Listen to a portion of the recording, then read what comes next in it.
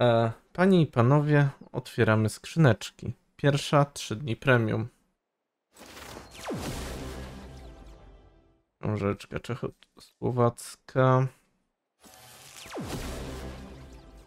Koleniowa USA. No to to w ogóle... No, mucho! Dzień premki.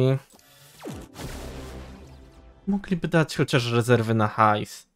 By ludzie to kupowali, a nie non-stop rezerwy na expa. Wszyscy tego mają nadmiar. Uuu, szybko poszło. Ósma skrzynka. L7. No to może dostaniemy trochę gelda. Dzień premki, dzień premki, dzień premki. 250 kredek. Czynni premki. Czynni premki. Mm, znowu exp. A, są rezerwy na hajs. Nic nie mówiłem. E, co my tu mamy? U, Thomas Farmer. Looks nice.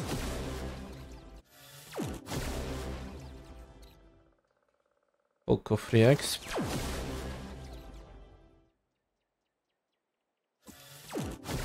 U, duża, duża, duży podręcznik. To też z chęcią. 500 tysięcy kredek. Jakby tak 500 tysięcy leciało co trzecią skrzynkę. Aha, Malcolm Harland.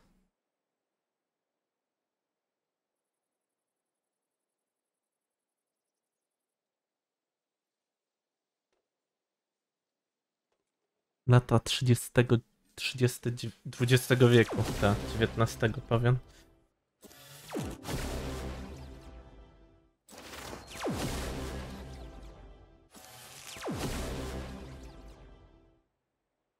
Przestworzą.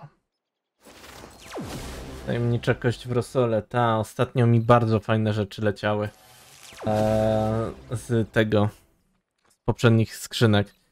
To na 200 skrzynek miałem 4 czołgi.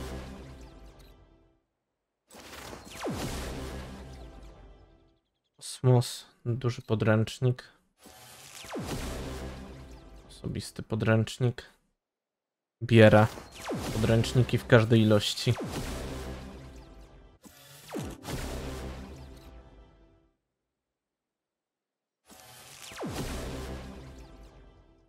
Zostało 11 sztuk.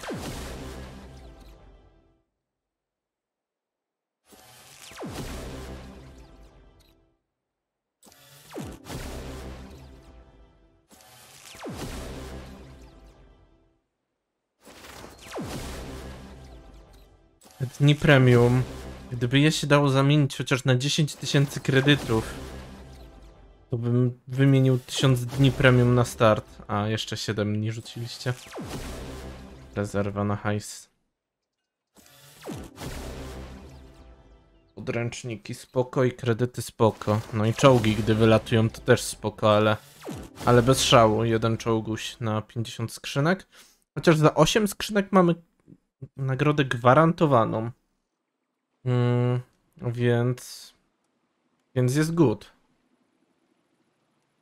Mamy TL7, nią będziemy sobie grali w przyszłości. Mm, Gdzie jest to TL7? Chciałem ją ten zobaczyć już rok temu, jak była na serwerze azjatyckim, ale nie udało się. Kip. Jak to nazwać? Wygląda jak przerośnięte T92. No może nie T92. Trochę jak Astro, trochę jak, nie wiem, taki dziwoląg.